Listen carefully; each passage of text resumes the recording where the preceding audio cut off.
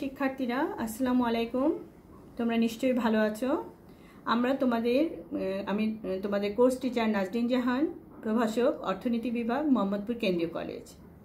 আমরা এই মূলধন এবং মূলধন বাজারের উপর যে লেকচারটা দিচ্ছিলাম যান্ত্রিক ত্রুটির কারণে লাস্ট প্রশ্নটা আমরা শেষ করতে পারি নাই চলো আজকে আমরা শেষ প্রশ্নটার উত্তর নিয়ে আলোচনা করি। প্রিয় শিক্ষার্থীরা আমরা কিন্তু সব প্রশ্নগুলোই সমাধান করতে পেরেছিলাম যে মূলধন এবং মূলধন বাজারের মানে মূলধন কাকে বলে, মূলধন বাজার বলতে কি বুঝো? তো পুঁজি বাজারের সমস্যা, মূলধন বাজারের বৈশিষ্ট্য, মূলধন বাজারের উপাদানগুলো, মূলধন বাজারের হাতিয়ারসমূহ, মূলধন বাজারের কার্যবলী, উন্নয়নশীল দেশে মূলধন বাজারের সমস্যা, মূলধন বাজারের সমস্যা কীভাবে সমাধান করা যায়? লাস্টে আমরা এসেছিলাম যে উন্নয়নশীল দেশে মূলধন গঠনের সমস্যাগুলো কী কী?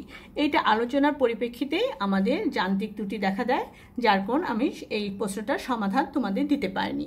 আজকে চলো আমরা এই প্রশ্নটার সম্বন্ধে বিশদভাবে আলোচনা করি। এই মূলধন এবং মূলধন চ্যাপ্টারে যে উইংসটা রয়েছে বা যে শাখাটা রয়েছে আমাদের অধ্যায় তেরোর সেইটাকে শেষ করি।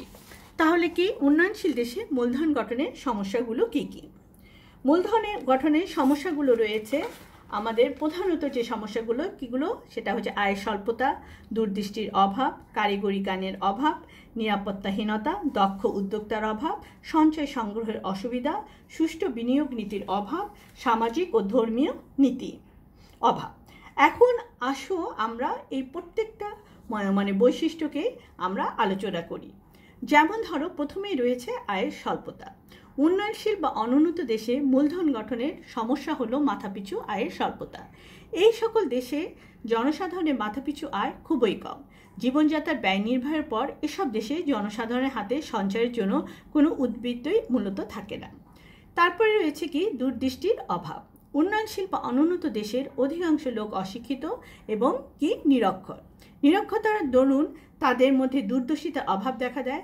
দূরদর্শিতার অভাবের কারণে জনসাধারণের মধ্যে সঞ্চয়ের ইচ্ছা প্রবল হয় না। কারিগরি জ্ঞানের অভাব, অর্থাৎ নতুন শিল্প কলকারখানা ও যন্ত্রপাতি স্থাপনের মাধ্যমে মূলধন সৃষ্টি হয়। কিন্তু এই সব যন্ত্রপাতি স্থাপনের মাধ্যমে মূলধন যে সৃষ্টি হয়, কিন্তু এই সব যন্ত্রপাতিকে সুষ্ঠুভাবে পরিচালনার জন্য যে কারিগরি জ্ঞানসম্পন্ন, দক্ষ শ্রমিক ও প্রকৌশলীর প্রয়োজন হয়, তার যথেষ্ট অভাব রয়েছে। উন্নয়নশীল এবং অনুন্নত দেশে এইরূপ কারিগরের জ্ঞানসম্পন্ন শ্রমিকের অভাবের কারণে মূলধন গঠন ব্যাহত হচ্ছে। এরপরে আসি কি? নিরাপত্তাহীনতা। উন্নয়নশীল বা অনুন্নত দেশে সামাজিক ও রাজনৈতিক অস্থিরতার দরুন জনসাধারণের মধ্যে এবং জীবন ও সম্পত্তির নিরাপত্তার অভাব দেখা দেয়। দক্ষ উদ্যোক্তার অভাব। আর্থিক সঞ্চয়কে বিভিন্ন উৎপাদন কাজে বিনিয়োগের জন্য দক্ষ ও সাহসী উদ্যোক্তার প্রয়োজন। কিন্তু বিনিয়োগের বিরাট লাভ লোকসানের ঝুঁকি বহন করে শিল্প প্রতিষ্ঠান পরিচালনা করার মতো অভিজ্ঞ ও সাহসী উদ্যোক্তার অভাব উন্নয়নশীল বা অনুন্নত দেশের মূলধন গঠনের হার আশানুরূপ হয় না। সঞ্চয় সংগ্রহের অসুবিধা। সারা দেশে বিক্ষিপ্ত অবস্থায় স্বল্প আয় উপার্জনকারীদের যেসব ক্ষুদ্র ক্ষুদ্র সঞ্চয় রয়েছে, সেগুলো সংগ্রহ করা এবং বিনিয়োগ ক্ষেত্রে পরিচালিত করার মতো যথেষ্ট ব্যাংক, বিমা, পোস্ট অফিস ইত্যাদি আর্থিক প্রতিষ্ঠানের অভাব রয়েছে। সুতরাং উন্নয়নশীল বা অনুন্নত দেশে পর্যাপ্ত সংখ্যক ব্যাংক, বিমা ও অনুন্নয়নের আর্থিক প্রতিষ্ঠানের অভাবে মূলধন গঠন হয় ব্যাহত। সুষ্ঠু বিনিয়োগ নীতির অভাব। উন্নয়নশীল বা অনুন্নত দেশে সরকারি সুষ্ঠু বিনিয়োগ নীতির অভাবে বিনিয়োগের পরিমাণ কম হয়, ফলে সঞ্চয় ও মূলধন গঠনের পরিমাণও কম হয়। সামাজিক ও ধর্মীয় নীতি। উন্নয়নশীল বা অনুন্নত দেশে সামাজিক ও ধর্মীয় পরিবেশ সঞ্চয়ের পক্ষে যথেষ্ট অনুকূল নয়। এসব দেশের অধিকাংশ লোক অদৃষ্টবাদী ও কুসংস্কার ছন্ন ধর্মীয় গোড়ামি আর অন্ধবিশ্বাস প্রভৃতির কারণে এসব দেশে জনসাধারণ পার্থিব সুখ স্বাচ্ছন্দ্য সম্পর্কে উদাসীন থাকে। তাই বলা হচ্ছে যে উন্নয়নশীল বা অনুন্নত দেশে মূলধন গঠনের বহুবিধ সমস্যা রয়েছে।